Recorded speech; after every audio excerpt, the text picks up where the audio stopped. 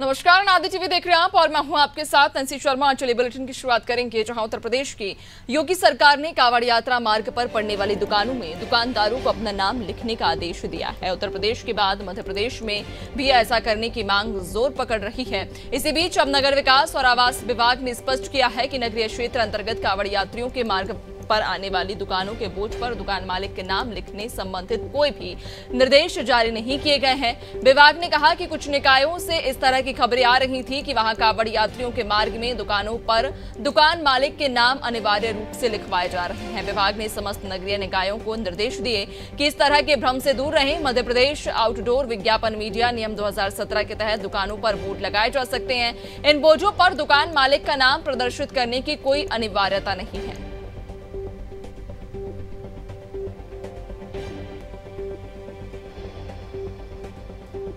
तो आपको बता दें कि दुकान पर अब दुकान मालिकों के नाम लिखने को लेकर जहाँ उत्तर प्रदेश में लगातार घमासान मचा हुआ है और इसी बीच अब ये खबरें भी थी कि मध्य प्रदेश में भी इसी प्रकार का नियम लागू किया जा रहा है जिसको लेकर लगातार दुकानदारों में इस बात को लेकर भ्रम फैला हुआ था। लेकिन अब उस पर उन सभी भ्रमों पर उन सभी आ, खबरों पर विराम लगाते हुए मध्य प्रदेश में यह साफ़ कर दिया गया है कि इस प्रकार के कोई भी आदेश जारी नहीं किए गए हैं। यानी कि अब मध्य प्रदेश में दुकानदारों को अपने दुकान पर अपने नाम अपने नाम लिखना अनिवार्य नहीं है। चूँकि उत्तर प्रदेश में लगातार इस बात को लेकर घमासान छुड़ा हुआ है, जहाँ लगातार राजनीतिक पार्टियों में बयानबाजी का दौर देखने को मिल रहा है। चूँकि उत्तर प्रदेश में योगी सरकार ने एक बड़ा फैसला लिया कि कावड़ियों के जो मार्ग हैं, जो जो कावड़ यात्रा पर निकले लोग हैं, उनके मार्ग पर जितनी भी दुकानें हैं, उन सभी दुकानों पर दुकानदार को अपना नाम, अपनी दुकान पर लिखना अनिवार्य किया गया और अब उसी फैसले को लेकर मध्य प्रदेश में भी